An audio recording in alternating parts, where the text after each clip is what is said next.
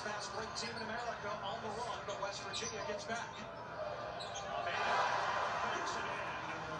A transfer from Texas A&M. TCU's going to need his scoring tonight.